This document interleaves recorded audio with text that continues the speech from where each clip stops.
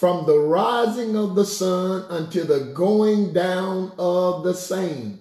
The name of the Lord shall be praised. It's Sunday morning. Arise, shine, my brothers and sisters, as the late, great Apostle McKinney used to say, get up out of that bed. Amen.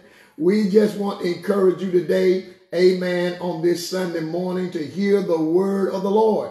Text somebody, email somebody, amen. Get your watch party together.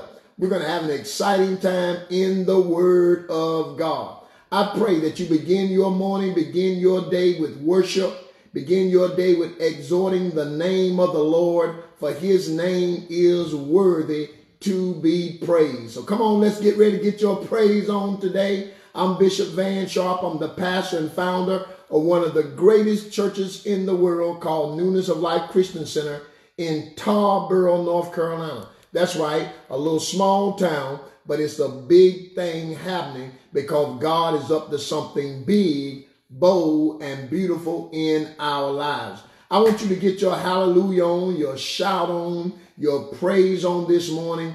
Amen. With one of the greatest Christian voices that we have of our decade and of our time. Amen. A young man, amen, that sings to the glory of God and tries and strives by the grace of God to sing under the anointing. Amen. Michael Stampley, a singing man of God. Amen. He's going to exhort us in one of his oldest but goodest. Amen. You're worthy to be praised. Every time we sing it at our local church, amen, the anointing and the glory falls. And I believe this morning that the anointing and the glory is going to fall in your life because we know one thing about God. He's worthy to be praised. Come on, Michael. Take us into the presence of God. Come on, get your worship ready today with me, my brothers and sisters. Amen. It's time to exalt the Lord. Time to glorify Him. Hallelujah.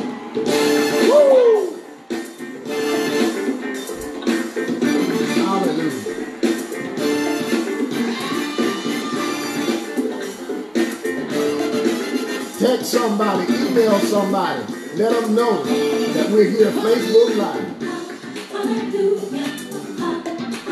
Y'all know this. You're worthy. You're worthy to be praised. Hallelujah. Come on, chime in. I want to hear from you this morning. You're worthy to Hallelujah. Bless you, Brother Vincent Belling. Bellamy. I'm sorry. Amen. Thank God for you and your lovely wife, Evangelist Jackie Bellamy, this morning. Hallelujah.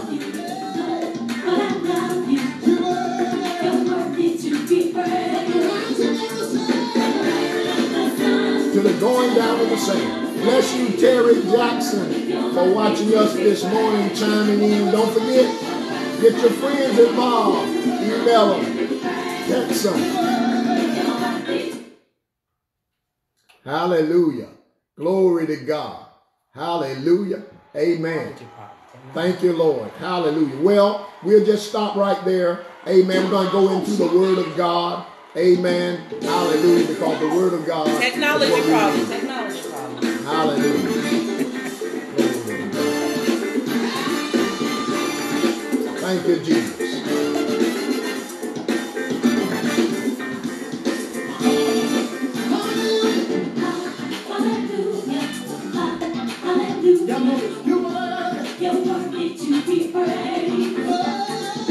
I hope that didn't just take you slam out of the spirit like it did me. But I hope you'll just come on and rejoice with me. Amen again. Amen. Bless you, Brent.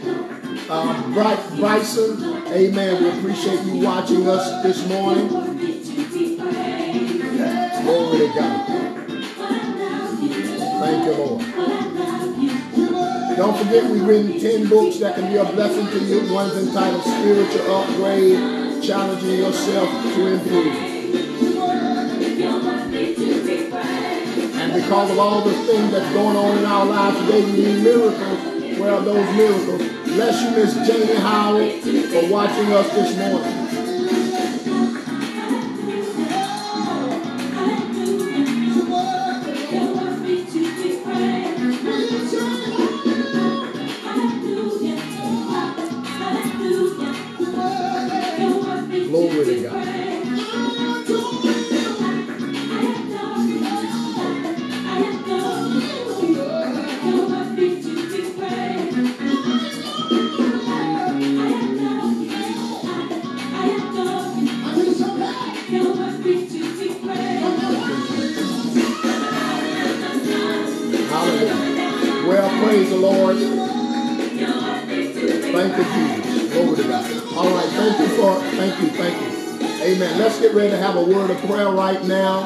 Amen. We're going to get ready to go into the word of God. Amen. God is worthy of our praise, worthy of our hallelujah, and thank you, Jesus. We're going to pray with you right now. Before we go into the word of God, I want you to get your Bibles ready. Amen. And as you get your Bibles ready, Amen. As we're going to lift up our Bibles before the Lord. We're going to lift up our Bible before the Lord. Let's pray right now. Amen. Again, we thank God for that terrific singer. Amen. Michael Stampley singing, You're worthy to be praised. Amen. Let's pray right now.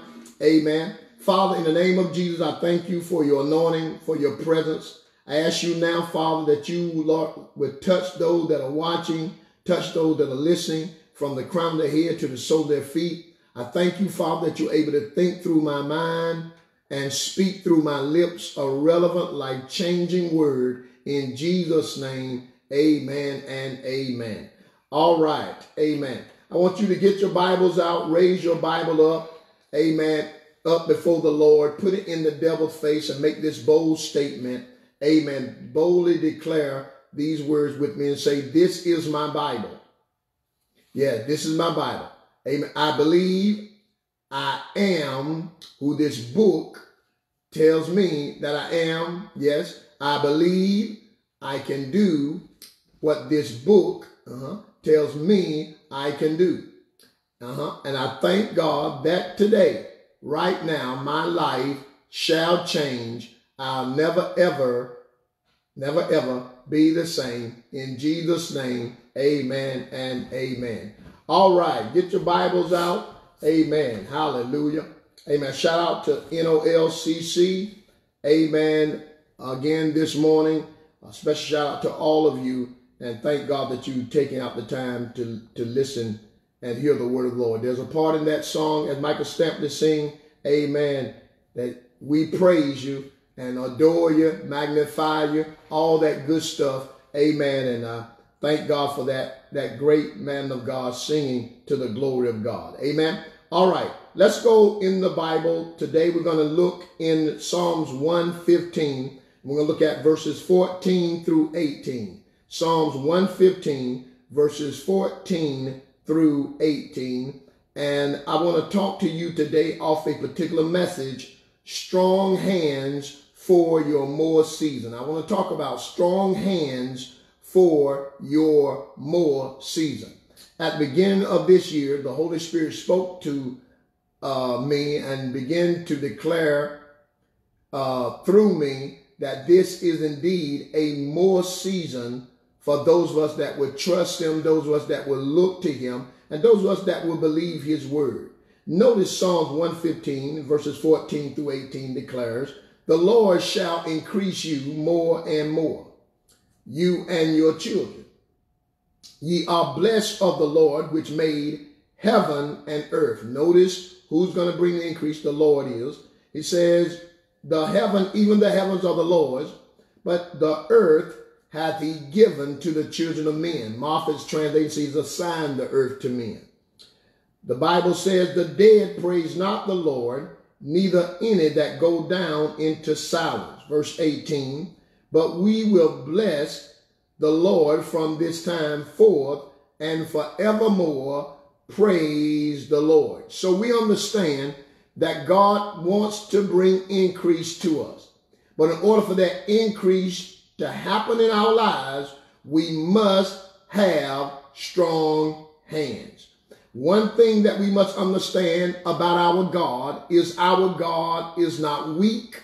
Our God is not slack. Our God is not slowful, but our God is mighty and our God is strong. Notice Psalms 89 verses 13 and 14 declares, Psalms 89, 13 and 14 declares this, Thou hast a mighty arm.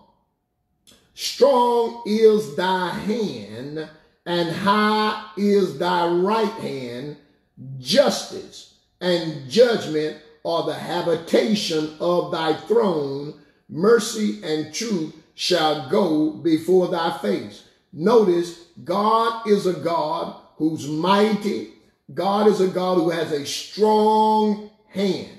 He brought the nation of Israel out of bondage to the Egyptians with a strong hand. He brought the nation of Israel out from under the hand of Pharaoh with a strong right hand.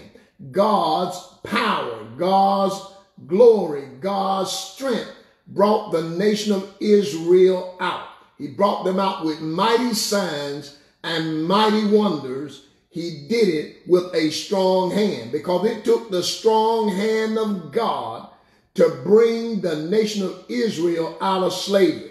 It took the strong hand of God to bring black people out of slavery. And it's going to take the strong hand of God to deliver us from racism and anything else.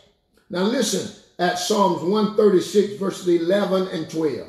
Psalms 136 verses 11 and 12 says, and brought out Israel from among them, for his mercy endureth forever, with a strong hand and with a stretched out arm, for his mercy endureth forever. Again, we see God telling us again how the nation of Israel was brought out with a strong hand. It took the strong hand of God. It's like what Kirk, Frank, Kirk Franklin uh, sings a song about. We need a strong God. Well, our God is strong. Our God has a strong hand and he's able to deliver people. He's able to set people free. Israel, they didn't get it. They didn't understand and they should have understood that if God was strong enough to bring them out of Egypt from under the hand of Pharaoh, that God was also strong enough to bring them through the wilderness and take them into the promised land. They should have understood that if God was strong enough, say it again to you, to bring them out of Egypt from under the hand of Pharaoh, that God was also strong enough to bring them through the wilderness into the promised land. That God was strong enough to make water gush out of a rock. That God was strong enough to give them food. That God was strong enough to do that. Amen. And if they had understood it, they wouldn't have complained. They would have trusted God. Instead of complaining and murmuring like many of them did, they should have been trusting God. Even so, you and I today, we must know that if God was strong enough to bring us out of sin, because Egypt illustrates a type of limit or to be in darkness or to be in sin, God brought us out of Egypt. And so God brought us out of sin. That's the shadow and a picture of sin. Egypt was bondage. Amen. If God was strong enough to bring you and I out of sin, the same God is strong, was and is strong enough to bring us out of sickness and disease. So whatever sickness, sir, whatever disease, ma'am, is trying to hold you, if God was able to get you out of sin, deliver you from the hand of the devil, don't you know God is strong enough to heal your back, heal your leg, heal your uh, body of any sickness and disease? Absolutely. The strong power of God, the strong hand of God has already been demonstrated when he brought you out of sin. So if he was strong enough to deliver you from under the hand of the devil, then surely he can heal your body today. Also, you must understand that the same God that was strong enough to bring you out of sin was also and is strong enough to bring you and I out of poverty. So that's why you just can't look to man to do this. You got to look to your God. You got to behold your God. You got to look unto Jesus, who is the author and the finisher of your faith. You have to understand that with men it is impossible, but with God all things are possible. The strong hand of God is able to bring you and I out from under the hand of poverty, under the hand of barely enough, and bring us into a season of more than enough. God wants us to have overflow. He wants us to have the abundant life. Bless you. A shout out to Pastor uh, Vicky Foster who celebrated her birthday on Friday. Again, my lovely wife and I say happy, happy birthday to you. Amen. Now, the same God that was strong enough to bring you and I out of darkness into the marvelous light, out of sin from under the hand of the devil, is strong enough to bring us out of and through racism and injustices today. God is a God of justice. God is a God of judgment. And so we understand that God is going to always showcase his power, his glory in the arena of righteousness and show us that he's a fair and a just judge and he will bring us out if we will call unto him, if we will cry out to him and trust him. He will do great and mighty things. In fact, Psalm 34 verses 17 and 19 says, the righteous cry and the Lord heareth and delivereth them out of all their troubles. Amen. See, we don't just need to cry out to the White House. We need to cry out to God and trust God to deliver us out of all our troubles. Verse 19. Many are the afflictions of the righteous, but the Lord delivereth him, the righteous, out of them all. God does not deliver us out of some, but can deliver us out of others. If he's strong enough to deliver us out of one thing, he's strong enough to deliver us out of everything. Hallelujah. In fact, the International Children's Bible, the ICB, says about Psalm 34 and 19, people who do what is right may have many problems, but the Lord will solve them all. Glory to God. If you're doing what's right, doesn't mean we won't have problems. Doesn't mean we won't have trials. Doesn't mean we won't have tests. But the Lord will help us solve every last one of them.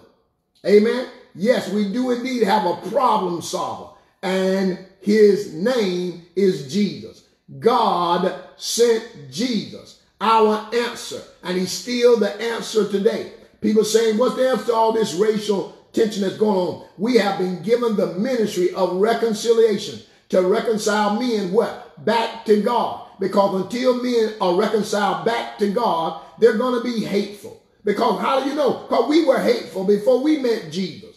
We were like that. The book of Titus tells us that. Such were some of you. Amen. We were hateful. We were disobedient. We were operating outside of the kingdom of God. We were under the authority of Satan. But thank God we've been delivered and we've been reconciled to God. And now we know the two greatest commandments is love the Lord thy God with all thy heart, soul, mind, and strength, and love thy neighbor as ourselves.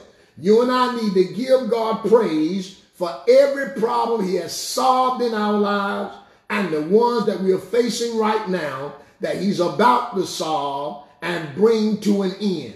We need to give God praise for every problem he has solved and the ones he's about to solve and bring to an end. You're about to come out of that trouble that you're in. You are about to come out of that dilemma that you're faced with right now. All you need to do is start giving God praise for bringing you out. Magnify his name. Don't murmur. Don't complain. Understand that you have to have a strong hand for your more season. Satan is going to oppose you having more. Satan don't want you to have more. Satan is one who comes to oppress people. He wants people oppressed with sickness, want people oppressed with poverty. I know, glory to God, that this, it looked just like a white and black thing, but it goes deeper than that. It's bigger than that. Man is created not only equal, but man is created in the likeness and the image of God. And Satan hates man. He hates us. He despises us because we are indeed created in the likeness and image of God. We are made after the similitude of God. So a person cannot say that they love God whom they have not seen and then hate man who they see every day. Nobody can say they love God and be a racist. He's a liar and he needs to be confronted if he's operating like that because how can you say you love God who's invisible and you haven't seen and hate somebody who you see who's created after the similitude of God, whether they're black, whether they're white, whether they're Hispanic, whether they are any other color or race. We have to understand that. We need to lift our hands up in our living room, in our bedroom, in our bathroom, in our kitchen, or wherever we are right now, and bless God and thank God for solving our problems. Hallelujah. You ought to bless him right there. He has brought every situation that you faced thus far to an end and gave you the victory. Well, that is a sign that he will do even greater things because you are in your more season. Hallelujah. Look at Psalm 34 and 19 in the Passion Translation. In the Passion Translation, it says, even when bad things happen to the good and godly ones, the Lord will save them and not let them be defeated by what they face. Glory to God.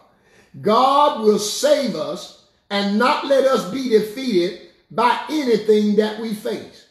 What we face is an opportunity for God to showcase his power. What we face in life is an opportunity for God to showcase his glory. And he will do that. Hallelujah. Listen at Psalms 23, verses 1 through 3. We know in the King James Version said, The Lord is our shepherd, we shall not want. He maketh us to lie down in green pastures, lead us beside the still waters. But I'm going to read this to you in the Message Bible. I'm going to read Psalm 23, verses 1 through 3. First of all, in the Message Bible, then I read in other translations so you can get it. It says, God, God, my shepherd, I don't need a thing. You have bedded me down in lush meadows. You find me quiet pools to drink from. Watch this. True to your word, you let me catch my breath and send me in the right direction. Hallelujah. Glory to God.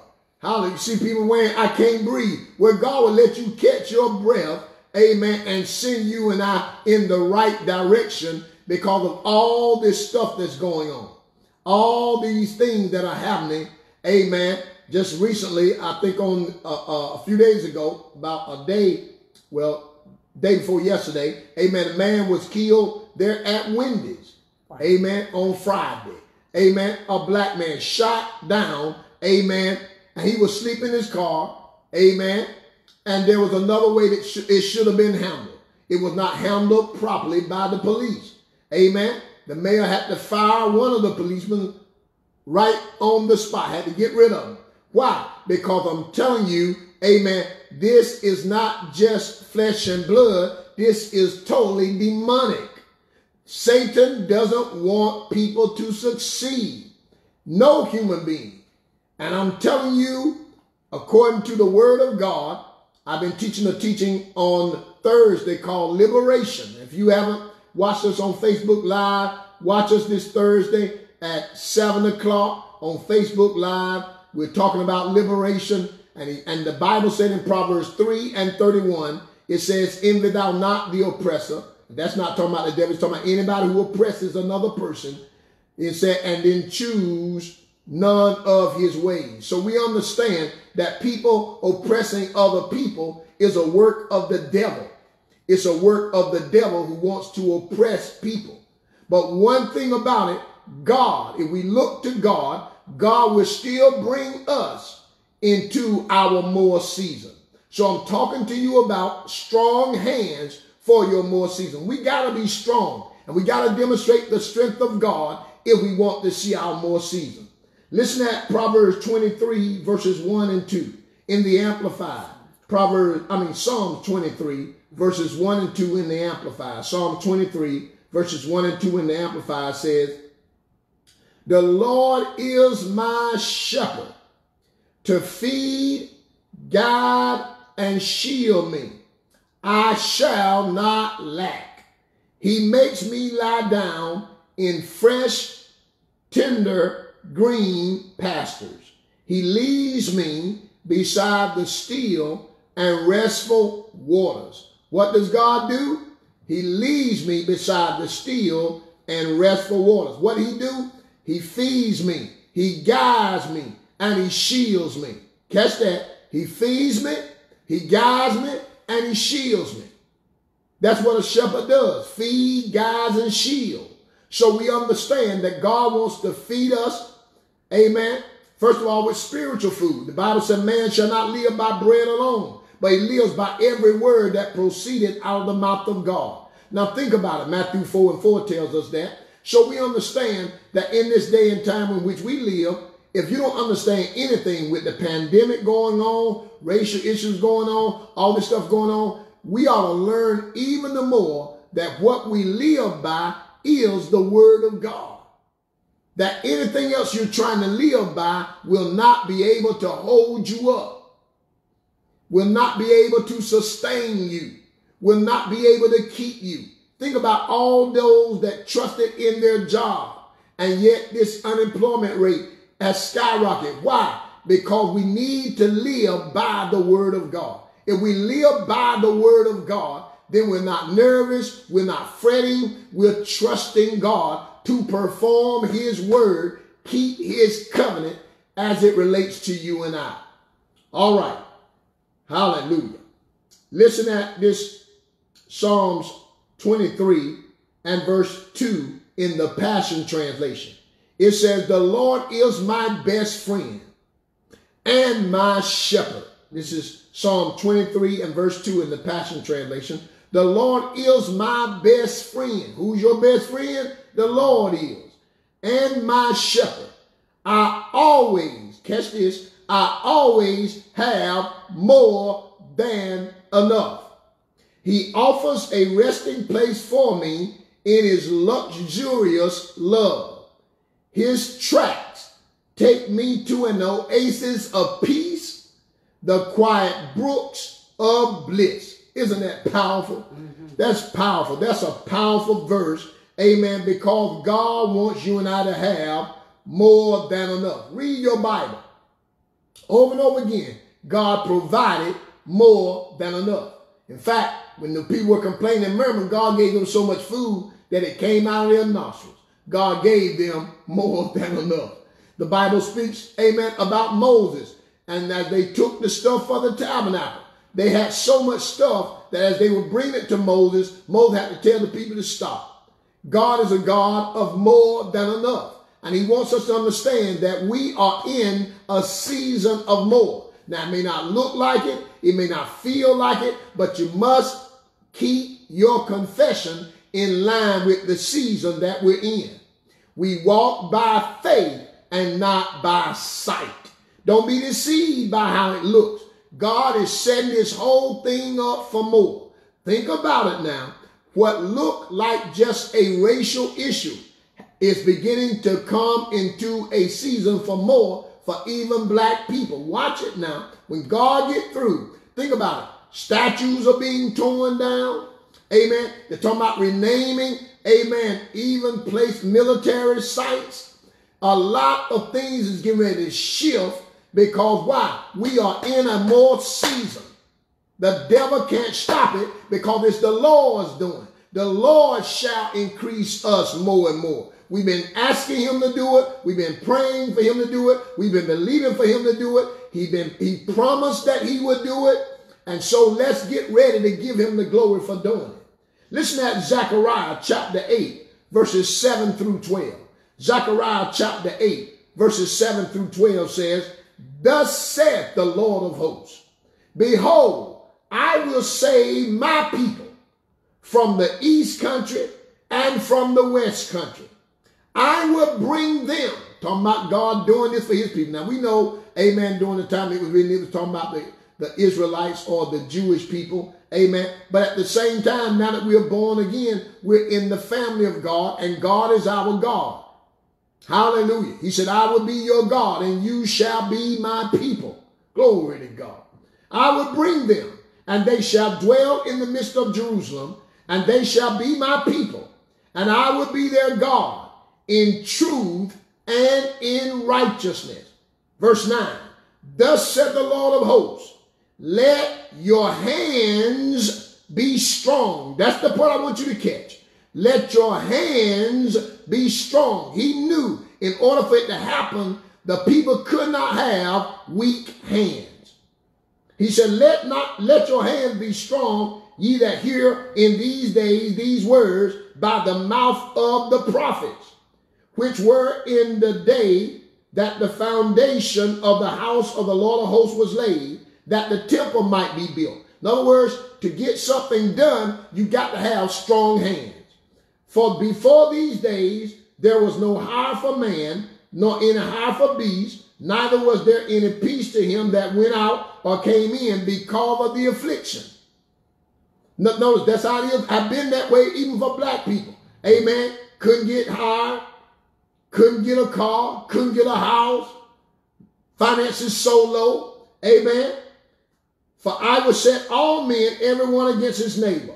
But now I will not be unto the residue of, the, of this people as in the former days, said the Lord of hosts. For the seed shall be prosperous. The vine shall give her fruit, and the ground shall give her increase, and the heavens shall give her dew. And I will cause the remnant of this people to possess all these things. That's what God is doing. God is causing us to have increase on the left, increase on the right, because that's part of the Abrahamic covenant, part of what he swore to do for Abraham and his seed. God said, In blessings I will bless you, in multiplying I will multiply you. God gave Abraham increase, and he's going to increase us. We are in our more season. The key to it all is having strong hands. Second Chronicles chapter 15, verses 7 and 8. Turn to Second Chronicles chapter 15, verses 7 and 8. Listen at this verse. It says, Be ye strong, therefore, and let not your hands be weak, for your work shall be rewarded. How you think about how many years many black leaders have been on the front line marching and protesting, standing up for justice, lawyers and others, amen, trying to make sure justice was done. Hallelujah. They have to be strong. You have to have strong hands when you go against the uh, powers of darkness. Well, I'm, I'm getting ahead of myself. Let me look at verse 8. And when Asa heard these words, that's what I'm hoping that you will hear these words. What were the words? Be strong, therefore, and let not your hands be weak. Hallelujah. And when Asa heard these words and the prophecy of Obed the prophet, he took courage. What did he do? He took courage and put away the abominable idols out of all the land of Judah and Benjamin and out of the cities which he had taken from Mount Ephraim and renewed the altar of the Lord that was before the porch of the Lord. Notice what he did. He took courage, he moved, removed the idols, and he renewed the altar. Glory to God. That's what we got to do. Get rid of all the idols and, and get our prayer life together and get our seeking God life together and begin to call on the name of the Lord. Get in the word of God. That's what we got to do. Amen. Because the devil, amen, had had a lot of people so distracted amen, with sports, so distracted with these movie stars, so distracted with other things that, hey, we couldn't see that, hey, we got to go to the house of God. We need to be seeking God. We need to be praying, need to be reading, God, reading God's word. Hallelujah. Amen. Amen. So we got to understand that we got to have strong hands. Listen at Zephaniah, Zephaniah chapter 3, verses 19 and 20. Zephaniah chapter 3, verses 19 and 20 says, Behold, at that time I will undo all that afflict thee. God said, there's going to be a time, a set time, when anybody and anything that has afflicted you, I'm going to undo it. And I will save her that halted and gathered her that was driven out. Amen. Those who your finances came to a halt. Amen. Your your ability to pay for things came to a halt, God said, let me tell you something. I'm going to shift this thing. I'm going to turn this thing. I would get them praise and fame in every land where they have been put to shame. How everywhere where the Israelite have been put to shame, I mean, God delivered them with such a strong hand that they got fame. They got notice. Even Rahab, who was a harlot of the city, she even told us, I'm going to hide you spies because we've heard about you.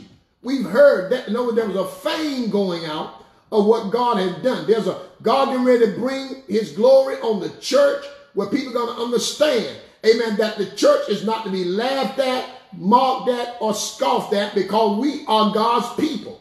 Again, it ain't the building, it's the people. God will not let his people be laughed at because God is not mocked. Whatsoever man soweth, that shall he also reap. Listen at what he said.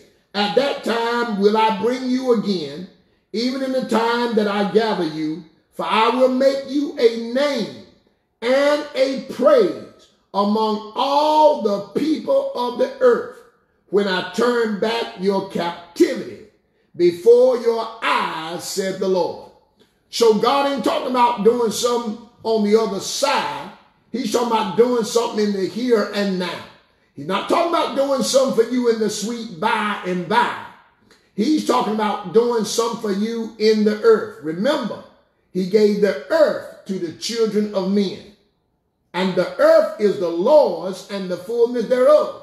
How can we even believe that this earth belonged to our father, our daddy, and did not expect our daddy to showcase his glory in our lives?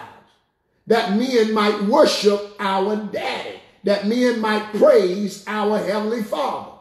Glory to God. See, listen, weak hands speak of slack hands. Weak hands speak of tired hands. Weak hands speak of slowful hands. Weak hands speak of idle hands. We don't need weak handed people now. We need strong handed people. Let me say it again. Weak hands speak of slack hands. Are you slack when it comes to the work of God? Are you slack when it comes to doing the will of God? Are you slack when it comes to going to the house of God? Are you slack when it comes to helping out your leader and helping out those men and women of God on the front line? Weak hands are slack hands. Weak hands speak of tired hands. Come on now. Are you hearing me? We cannot get tired when you are going for your more season. Hallelujah. There's no time for black, whites, and Hispanic who are marching and protesting against injustice to get tired. No, no, no. We got to say like James Cleveland. I don't feel no ways tired. I come too far from where I started from. Nobody told me that the road would be easy. There ain't gonna be no easy road. But I don't believe he brought me this far to leave me. Hallelujah. We need some folk that say, I ain't tired. I'm, I'm not tired. Amen. I'm not quitting. I'm not giving up because I'm not going to demonstrate weak hands. Bless you, Minnie uh, Bullock, for watching and tuning in. Amen. Today, appreciate knowing that you're watching us. Amen. Weak hands speak of tired hands. Weak hands speak of slowful hands. Weak hands speak of idle hands. Idle hands are weak hands. Amen. Hallelujah. Idle hands are slowful hands. Luke chapter 9. Hallelujah. I'm going to read something to you out of the 57, uh, 57 verse through the 60, uh, verse 62. Luke 9, 57 through 62. And it says, And it came to pass that as they went in the way, a certain man said unto him, Lord, I will follow thee whithersoever thou goest. Jesus said unto him, Foxes have holes, birds of the air have nests, but the Son of Man hath not where to lay his head. And he said unto another, Follow me. And he said, Lord, suffer me first to go and bury my father. Jesus said unto him, Let the dead bury their dead, but go thou and preach the kingdom of God. And another also said, Lord, I will follow thee, But let me first go bid them farewell, which are at my at home at my house. And Jesus said unto him, No man, having put his hand to the plow and looking back, is fit for the kingdom. Notice what he talked about, putting your hand to a plow. Now you can't plow a field with weak hands. You can only plow a field with strong hands. When people were plowing those fields, they had to have strong hands. They had to have the oxen, they had to have the horses, or what they called back then the mule. Amen. And they would plow the field and they had to have strong hands. They couldn't let their hands get weak because it'll mess up trying to make a straight line down the road while they're plowing the field. They couldn't let their hands tire out because then they'll let go of the plow and the, and the mule or the oxen would take the plow all every place. They had to hold their hands steady. They had to hold their hands in place and not look backwards because they looked backwards, they would mess up the straight line that they were going to dig so that the ground could be broken up so they could plant their seed in the ground. They didn't have these kind of machines like they got going on today that can go in there and plow the ground up. Had to get behind the oxen or get behind the mule and plow their fields. And that was hard labor. And they couldn't get tired. and They couldn't let their hands get slack. And they couldn't let their hands be idle. And they couldn't look backwards.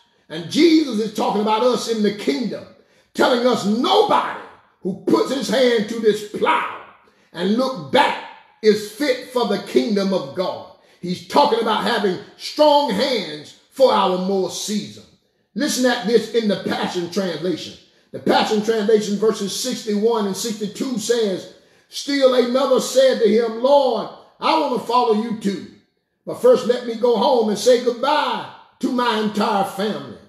Jesus responded, Why do you keep looking backwards to your past and have second thoughts about following me? When you turn your back or turn back, you are useless to God's kingdom realm. Mm. Good gracious Almighty. He said, when you turn back, you're useless to this realm of the kingdom. He's saying, why in the world do you keep looking back at your past? Forget those things which are behind you. Hold this plow steady and move it forward because you are moving towards your more season. I'm talking about strong hands for your more season. Are your hands strong? Or are your hands getting slack? Don't let your hands be slack. Get your grip back. Hold on to this plow and keep pressing forward. Press forward against prejudice. Press forward against poverty. Press forward against lack. Press forward against none, not, not nearly enough and barely getting by. Press forward and get the abundant life that Jesus shed his blood and died for. Press forward, hold the plow steady, and keep moving. Let me read it to you in the message translation. The message translation said, He said, Certainly, but first, excuse me for a couple of days. This is Luke 9 59 and 62. Luke 9 59 62 in the message translation. He said, I have to make arrangements for my father's funeral. Jesus refused. Wait a minute, this man talking about going back and uh, one was talking about a wedding, another talking about a funeral. Jesus refused. He said this. Look what Jesus said. First things first. Your business is life. This is Luke 9, 59 through 62 in the message translation. Your business is life, not death. he said, let the dead bury dead. Your business is life. Your business is concerned about the living, not the dead. And life is urgent. Good gracious almighty. Life demands urgency. Announce God's kingdom, he said. Then another said, I'm ready to follow you, master, but first, excuse me while I get things straightened out at home. Jesus said, watch this, no procrastination. Mm-mm, mm-mm! See, this time to hold your hands strong. No procrastination. No backwards look. You can't put God's kingdom off till tomorrow. Watch this. Seize the day. Seize the day. That's what he said. Seize the day. This is our day. This is our time. There'll never be another day like this. You got to seize the day. That's what, amen, the echo and the cry, even now, is saying, seize this opportunity. We cannot let this opportunity slip. We got to have strong hands. We got to have strong hands. This is our more season, and we must seize this day. Listen at what Proverbs 20 and 4 says. It says, The sluggard will not plow by reason of the cold. Therefore shall he beg in harvest and have nothing.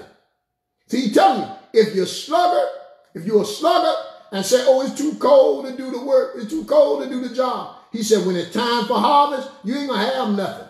Why? Because you didn't hold on to the plow. Because you allow idleness, because you allow the situations outside to dictate what you did. You allow an excuse to be made. And I'm telling you, glory to God, we cannot afford to make excuses now. It's our time. It's our season. We are the church. We've been called into the kingdom for such a time as this. It's time for us to arise and shine, for the light is come, and the glory of the Lord has risen upon us. It's our time. Hallelujah. Listen, the hands are what you use to shape and mold things. What did I just say? The hands are what you use to shape and mold things. You can't shape and mold things without your hands. The hands are what you and I use to start and finish the task or the assignment. The hands also are what we grip things with or what we hold things with. The hands in the Bible, we are told, is what we are to have clean hands and we are to lift up holy hands. So the hands are very, very important. Hallelujah. Our hands being strong speaks of having courage and having confidence. We must have what? Courage and we must finish the task. We must trust God. We must have confidence in God because we must have strong hands. So when God tells us to have strong hands, He's telling us, put your trust in me.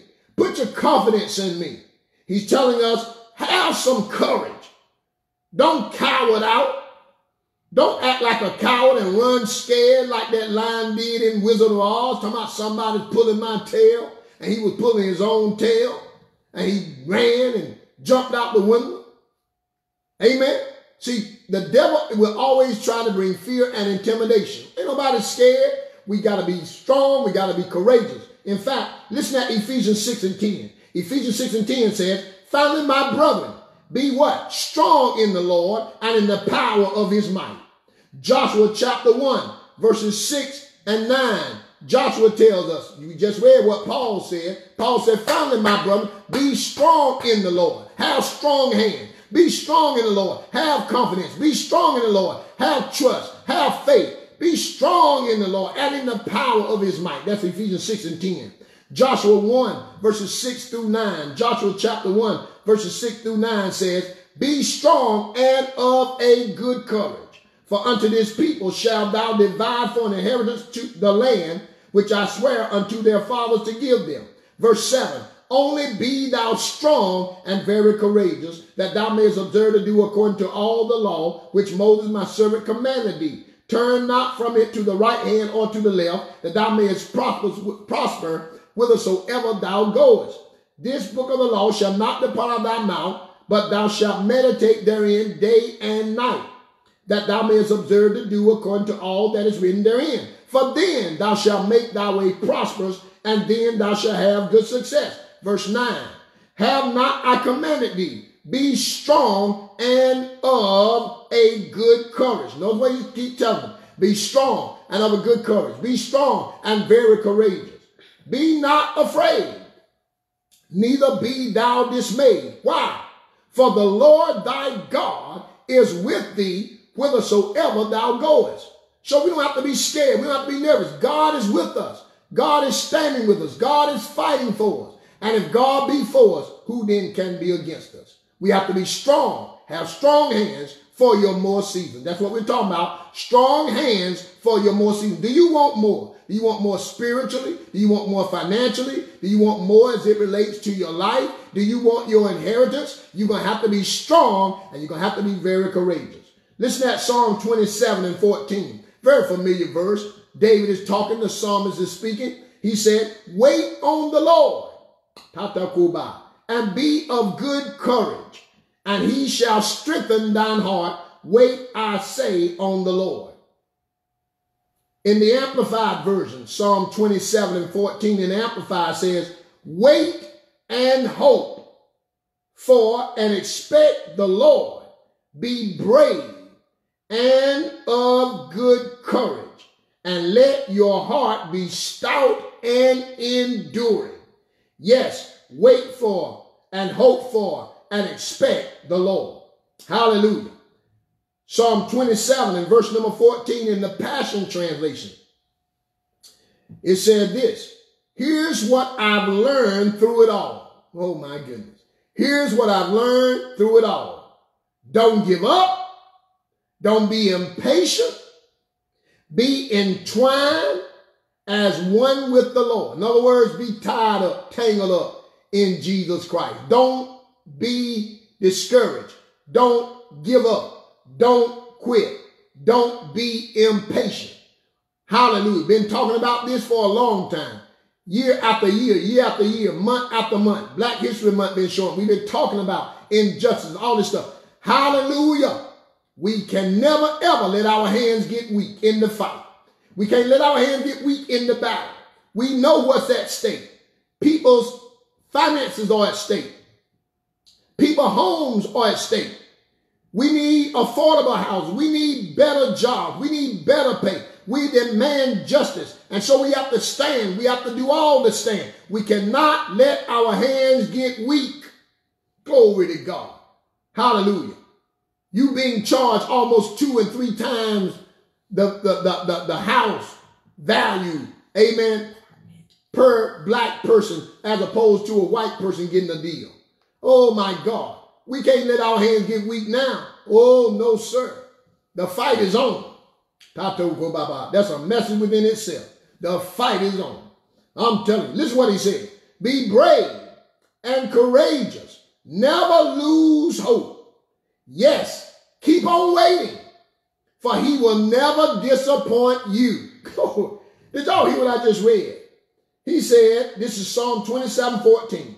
Here's what I've learned through it all. Don't give up. Don't be impatient. Be entwined as one with the Lord.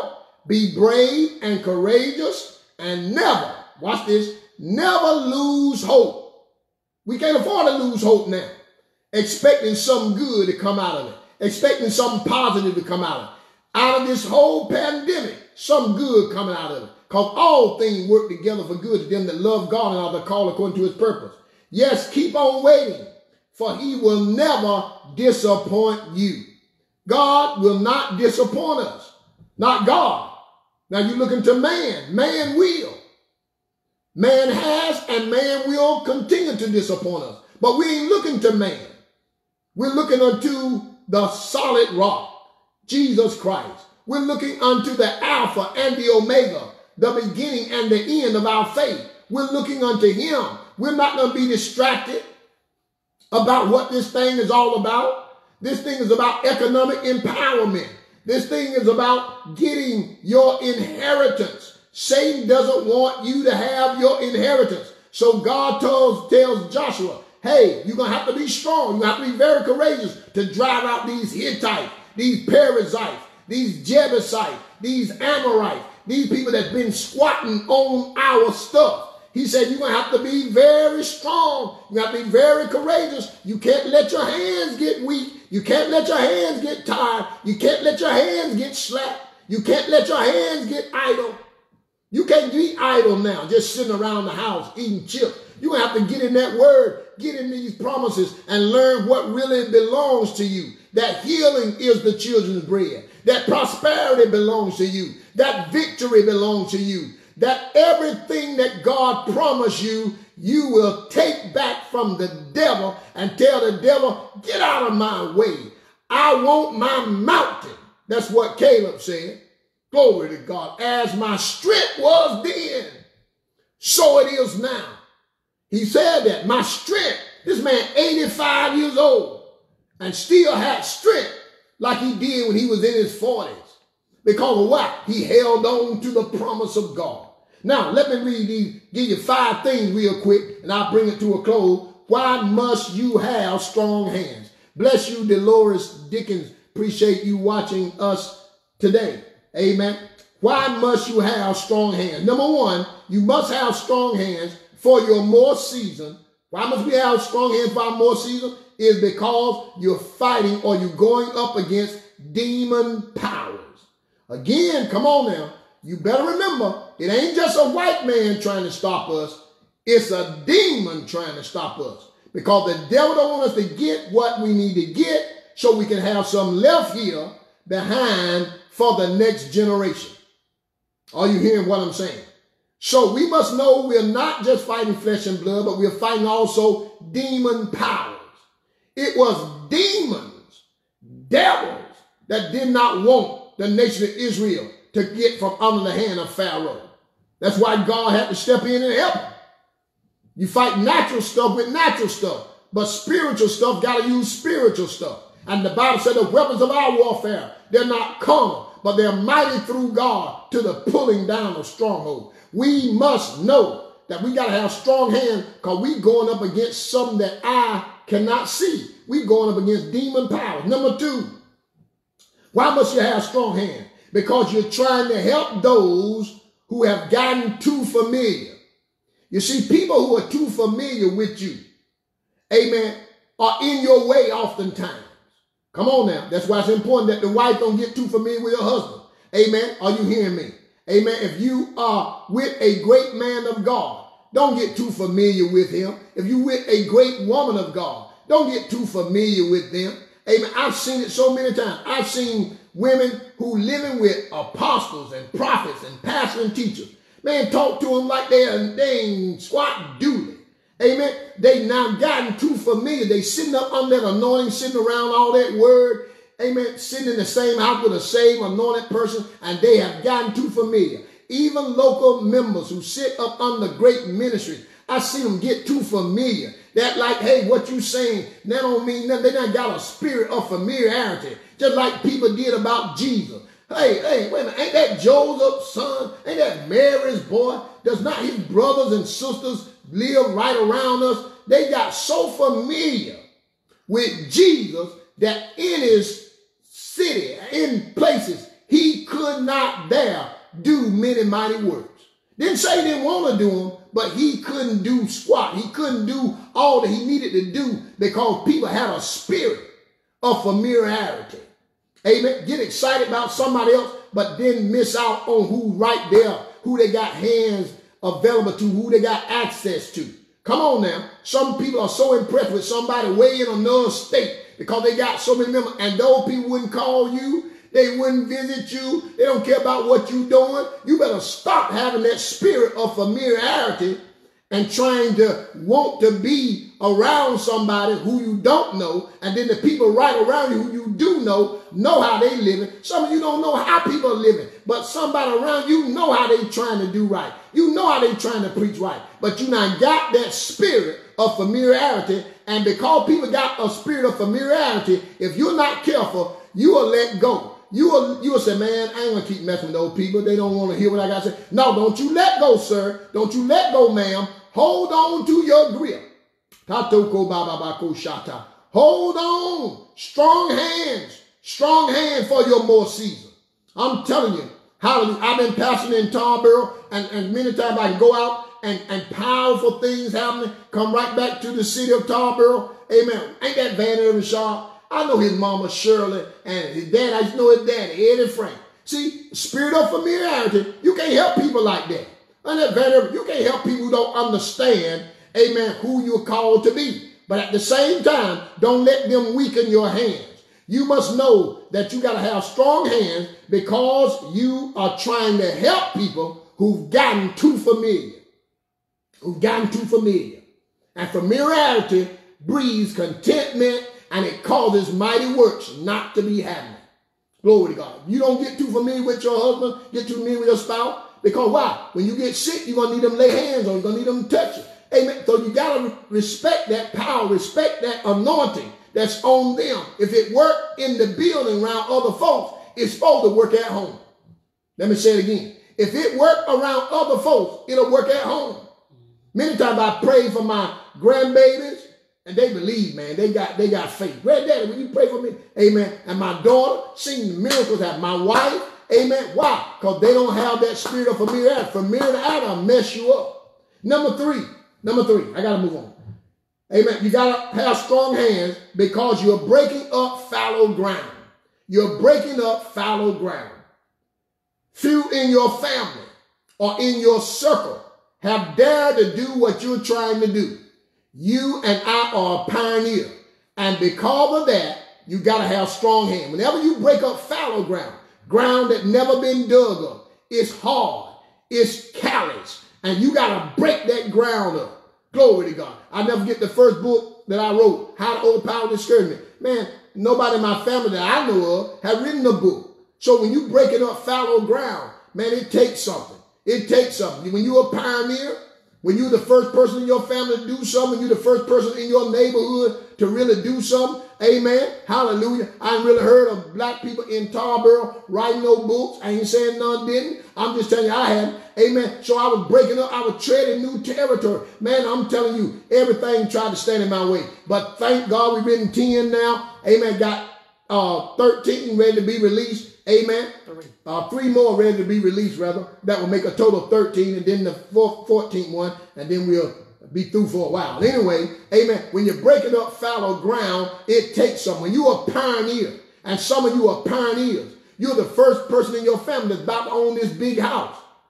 Hallelujah. I'm telling you, my God, when my wife and I, we bought our home. Amen. Then, but when you break up that fallow ground, it opens up stuff for others.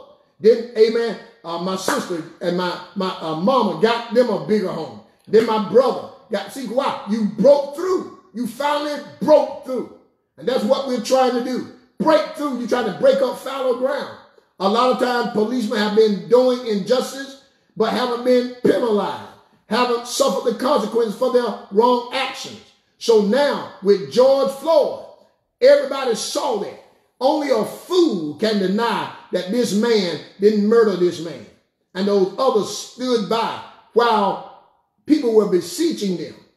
And, and some of you need to get the whole thing so you can see that. People were beseeching them, begging them, get your foot off this man's neck. The man can't breathe. I mean, your knee off this man's neck. He can't breathe. You're going to kill him. Black people saying it. And then another white young lady came up. She was saying it. And she was uh, uh, uh, uh, uh, Essential worker. an essential worker, begging this man to get, but he didn't do it. So we are trying to see justice happen, amen, and it's breaking up fallow ground. Number four, why must you have strong hands? Because people will laugh and mock at you if you quit, instead of marveling at your faith in God. Let me say it again. Because people will laugh and mock at you if you quit, instead of marveling at God and your faith in God. So you got to have a strong hand because you don't want to be laughed at. How's your thought? If you quit right now, if you give up right now, think about how many folk gonna laugh at you. How they gonna mock your God. How they gonna say, oh my goodness, she back out in the street. Oh my, I want to that God thing. You ought not want nobody to laugh at you and mock you and laugh at your God rather than trusting your God and having faith in your God. The Bible says if you start something and don't have enough to finish it, people will mock you. They will laugh at you. I'm telling you, if you don't take this thing all the way, people are gonna laugh at you and mock you. We gotta take it all the way. We gotta say, I got strong hands for my more season. I gotta quit. My last point is this. You must keep praising and worshiping God. Tata baba. And that's very important. If you're going to keep your hands strong, why must we keep our strong hands? Because you started out with a praise and y'all are finished with a praise. God is worthy to be praised from the rising of the sun to the going down of the same. You must keep praising and you must keep worshiping God. No matter what you go through, you must keep your strong hand because weak hands don't praise Him. Haven't you seen some people, they go through stuff, they come to the house of God and sit there looking pitiful, acting pitiful? That means what? Their hands gotten weak. Those hands ought to be lifted up. Y'all be praising God, worshiping God. Y'all say like David, I will bless the Lord at all times. His praise shall continually be in my mouth. You ought to be lifting up your hands, blessing God this day and every day until you die. Don't you dare let your hands get weak. I pray you were blessed by this message. I wanted to finish it up because next week is Father's Day and we got a word, amen, to the fathers on next week. A word of encouragement, a word to bless your life. Thank you so much for watching us today on Facebook Live. I pray, hope, and know that this word helps strengthen your hands, strong hands for your more season. Do you want your more? How bad do you want your more? If you want your more bad enough, you refuse to let your hands get weak in this work, in this task, in this assignment. Keep doing what you're doing because God has got great things in store. Your work shall be rewarded if you don't let your hands be slack, if you don't let your hands be weak. God will reward your work. Amen. Again, these teachings are found here on Facebook, so you can go back over them, hear them again and again, and revive your faith. Or you can also go to YouTube, amen, and check us out, amen, and get these particular teachings, amen. Even the one today will be on in about uh, maybe about 12 minutes or so. At any rate, amen. Write down these times so you can keep up with us every Tuesday night. We're right here on Facebook Live until this pandemic stuff, amen, uh, gets out of our way. Amen. We're here every Tuesday night at 7.30, sharing the word of God with you. And every Thursday at 7 o'clock, we have a special program called Sharp Points, and we deal with liberation. Now, if you're really serious about studying the word, tune in on Tuesday night. We take our time a lot better. We go a lot slower than we do on Sunday. On Sunday, we kind of flow with it. But on Tuesday, we give you a chance to find the scriptures and learn the word because we want this, you to study the word of God. Study to show yourself approved, workman that need not be ashamed, but rightly dividing the word of truth. Every Sunday, every Sunday, we're here at 1015. Amen. Until the Holy Ghost get through with us. Amen. Usually about an hour, but we went a little bit over today because we wanted to finish it up because next week, next Sunday is a big Sunday for men, those that are fathers. Amen. We have a powerful word for you on next Sunday. Amen. You don't want to miss next Sunday's Facebook Live. Amen. Right here. Again, if you want to give to the ministry, there are several ways you can give. You can write us at Newness of Life Christian Center, P.O. Box 1462, Tarboro, North Carolina 27886. That's our mailing address if you want to go that old fashioned way of mailing it. But if you want to be a giver who wants to give in this new way of giving, you can download the Give Plus app. And when you download the Give Plus app, type in Newness of Life Christian Center or 27886 and you'll see Newness of Life Christian Center pop up and you can plant and sow a seed and God will reward you tremendously. Again, amen. Get that Give Plus app and get that Give Plus app. Type in Newness of Life Christian Center or 27886 and you'll see Newness of Life Christian Center pop up and you can give that way. Or again, you can mail, uh, mail and write that letter, amen, to Newness of Life Christian Center, P.O. Box 1462, Tarboro, North Carolina, zip code 27886. And again, we appreciate every last one of you. NOLCC, y'all are doing it up. Amen. Again, we, we are meeting budget each and every Sunday. You all are giving hilariously. And don't forget, amen, if you haven't gotten your seed in the ground, newness of life, you can get your offering, amen, and uh, by uh, connecting through the Give Plus app, amen, and be a blessing. Amen. We thank you again for watching. If you would also like to give to Pastor Reese and I, amen, all you have to do is hit that cash app and hit that cash app and then hit R determine. R dial that, I mean, hit that cash, that dollar sign, then R, and then hit determine. D E T E R M I N E D. Amen. Taken from a CD that we have called Determine that can be a blessing to your life. Amen. Again, we thank you. Amen. It's down at the bottom of the screen so you can catch up with it and do it. Amen. We love you. Thank you so much. Amen. I went a little bit over, but I want to challenge you to continue to watch great preaching, great teaching right here on Facebook Live. Also, Bishop Ronald Wayne Sharpe. Amen. He's he's on by now, probably preaching that word. Amen. And then, of course, Pastors David and Vicky Foster sharing the word of God. Man, I'm telling you, listen to that great preaching while you're sitting at home, while you're at your house. Don't get idle. Don't let your hands get weak, but keep strong hands because it's going to take strong hands for your more season. Until next time, be blessed.